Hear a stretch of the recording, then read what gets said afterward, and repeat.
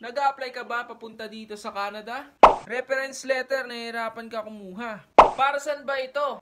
Paano ba gumawa nito? You're in the right video. In this video, I will give you tips and ways para makakuha ka ng mas mabilis nitong reference letter na kailangan mo para makumpleto ang iyong mga requirements. Hi everyone, it's me JV, back in again with another video.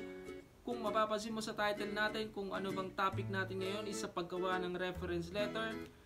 Ito na yung video na yon para sa mga subscriber natin na sumusuporta o nanood sa akin sa mga previous vlog ko na nagtanong o nahihirapan sa pagkuha nitong reference letter na to. Ang reference letter is parang yung recommendation na galing sa pinagtatrabuhan mong company ngayon or sa employer mo na pinagtatrabuhan before.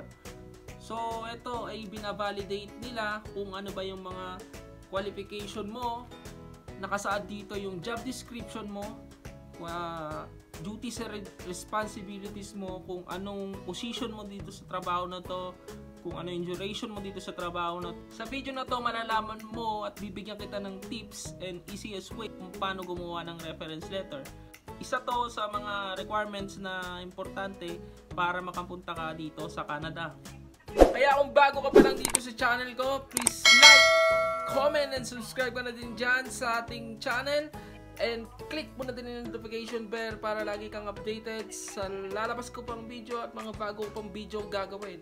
So stay tuned guys. So sama-sama nating alamin kung paano nga ba gumawa ng reference letter. Ito isa sa requirements punta dito sa Canada. This is JB and this is JB Vlogs. 1 minute 37 seconds later. So guys, etong reference letter na to may ginawa akong template which is para sa inyo yon. Kung gusto nyo na maku makakuha ng template na to, willing ako na i-send yung template na ginawa ko. Please comment your email address down below sa comment section para masend ko sa inyo yung template ng reference letter natin na to. So, stay tuned guys and then explain ko sa inyo step by step kung ano bang mga importanteng dapat ilagay or pagkakasunod kung paano gawin tong reference letter natin na to. So, para saan at bakit ba ito kailangan? If nag apply ka dito sa Canada, isa to sa mga requirements na kailangan nila. Una, recommendation ito galing sa yung company na pinagtatrabahuhan ngayon o dati mong kumpanya. Paano at kanino ito kinukuha?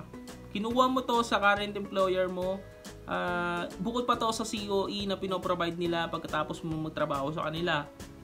Which is, dito naka-indicate yung full details nung pagtatrabaho mo dun sa company na yon. Para nga pala sa mga nahihirapan kumuha ng reference letter na to, naintindihan ko kayo, I feel you guys kasi dumaan din ako dyan, nahihirapan din ako kung paano kumuha nitong reference letter na to. Ito yung tips na pwede nyong sabihin o pwede nyong gawin hindi ko sinasabi na magsinungaling kayo, pero nyo itong gawin, pwede nyo itong gayahin uh, para makakuha kayo ng mas madali ng reference letter. Or kung di man, may isa pa naman tayong solusyon dyan. So una, para makakuha ka, sabihin mo, gagamitin mo to for housing loan, car loan, or any loan na kailangan mo, educational loan, na masasabi mo sa kanila, which is para ma-validate na kailangan mo nga yung reference letter na to.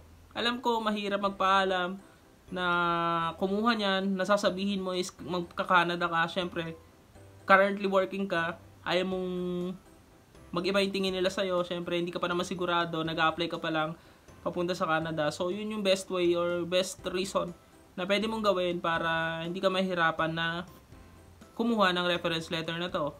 At para makapag-provide ka at makumpleto mo yung requirements mo. So, isang tips yun, guys. Para naman sa mga nani at mga caretaker, alam ko nahihirapan din kayo na kumuha ng reference letter na to. Gumawa nga ako ng template para sa inyo. Para din sa iba na nahihirapan na kumuha ng reference letter. Which is, yung template na yon willing ako i-send. Eh, comment down below your uh, email address. I-send ko sa inyo. Ang kailangan nyo lang gawin dito if you're nani para ma-validate tong uh, reference letter na to. At least sana meron kayong picture together with your inaalagaan and then kung caretaker picture ng area na pinagtatrabahuhan mo or pinag stay So, punta tayo dun sa reference letter natin. Ito yung ayun yung template na ginawa ko. Magsisimula tayo sa umpisa. Siyempre, kung wala ka nang no choice talaga, kung wala ka nang no choice, kailangan mo nang gumawa ng reference letter which is pwede naman as long as ma-validate. So, magsisimula tayo sa company name. Ano bang company name mo? Kunyari, JB Rojas and Company. Address mo sabihin mo nasa Canada ka o kung anong city yung pinagtatrabuhan mo noon and then yung country nung company mo. Telephone number, importante yan. Ang simula ng letter mo is magsisimula sa to meet my concern. I hereby certify that JV Rojas with passport number, employee number of department kung saan area ka located. Ah has been employed nga as position position mo doon sa area. Nyari machine operator from the date date end and start. Um yan. During his work in our company is averaging averaging ito kung ilang oras ka nagtatrabaho sa isang linggo.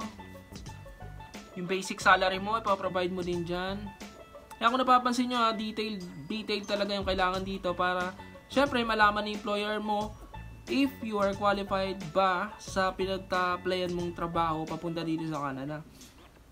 Uh, yan, recommendation na yan. Kunyari, JV Rojas is, is I have seen his dedication to work, hardworking, uh, flexible, and easily, kung ano-ano mga ano, kung ano-ano mga adjective na pwede mong sabihin sa'yo guys, sabihin mo na dyan. He was able to perform designated duties and responsibilities such as kung ano yung mga duties and responsibilities mo doon, lagay mo dyan, indicate mo dyan. Yan, feel free to contact me uh, regarding this matter. Importante dito guys, be honest. Hindi ka pwedeng gumawa-gawa lang ng contact number mo tapos tatawagan mo, ito yung manager. Hindi pwede yan guys. Matitrace at matitrace nila yan, kaya be honest. This letter is issued upon the request of pangalan mo, purpose it will serve in best. Sincerely, yan. Nung makita nyo guys, ito, HR supervisor, leader, area supervisor. Option lang yan kung ano yung lang yung ma-provide mo which is higher rank official dun sa company mo, okay na. Basta ma-provide mo yung contact number, signature, email address nila. At least dalawa. Nyari, area leader mo, pwede yan supervisor, area leader, supervisor, pwede. Supervisor or manager, pwede. At least dalawa na meron ka ma-provide na contact number, signature, and email address. Ayun guys, yung template na ginawa ko, yun nga kung willing kayo, isasend ko sa inyo yan. Comment down below your uh, email address. Uh, disclaimer lang guys. Itong uh, reference letter na to is ako lang gumawa. Uh, hindi ako professional. Kaya kung may mga mali tayo na nagawa dito, you can correct it or sabihin nyo sa akin, pwede nyo ako yung correct. Correct me if I'm Ha? Nagulo English niyan! Sasapakin ko yan! if I'm wrong. Uh, wala tayong problema dyan. Lahat to is based lang sa experience ko and then sa sa pag-research ko kaya masaya ako na na-share ko to sa inyo guys. So, Ayun nga, dito ko natatapusin tong video na to. I hope na natulungan ko kayo at I hope na uh, makatulong tong video na to para makapag-provide na kayo or makompleto niya na yung mga requirements nyo papunta dito sa Canada. Good luck, good luck sa mga nag apply papunta dito sa Canada. So, see you dito sa Canada. Kita-kita na lang tayo sa mata pag nagkita. So, yun. Please like, comment, and subscribe na din kayo dito sa channel ko para sa mga bago at kung hindi ka pa subscriber, subscribe ka na. So maraming salamat sa suporta guys at yun, subaybayan nyo yung next video natin. Uh, marami pa tayong gagawin video patungkol dito sa Canada. So see you on the next. Oh, ang gulo na naman, ang gulo magsalita eh. Hindi maintindihan ba sinabi? See you sa next video. Bye!